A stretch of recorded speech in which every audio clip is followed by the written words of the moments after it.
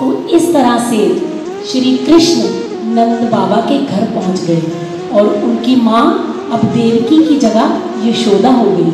मैया देवकी ने उनको जन्म दिया और यशोदा मैया ने पाल पोस कर उनको बड़ा किया। तो जो मैया यशोदा थी, वो श्री कृष्ण जैसे प्यारे पुत्र को पाकर धन्य हो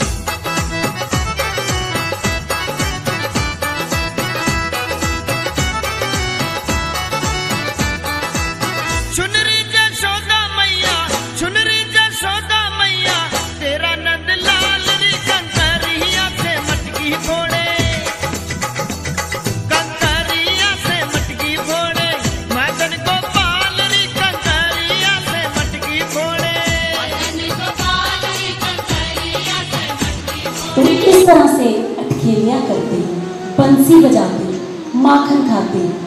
नंद गोपाल बड़े हो गए और राधा के शाम बन गए। राधा हमेशा उन्हें मिलने के लिए आतुर रहती, उनकी बंसी सुनने के लिए ललायत रहती और जब शाम छुप जाते तो उन्हें गली गली ढूंढती। आइए देखते हैं।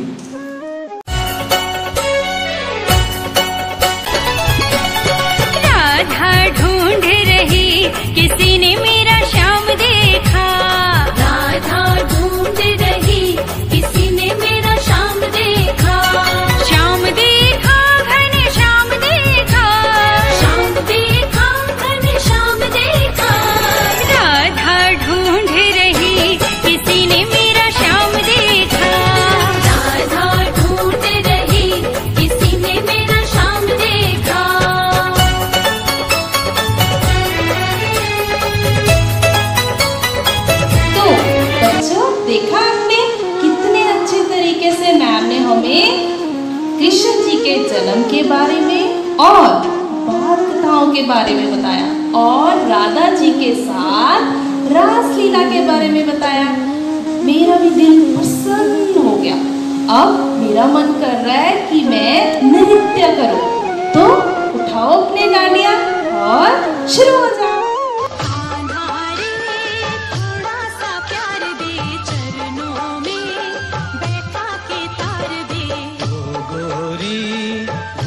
उघार दे प्रेम की भिक्षा झोली में डाल दे।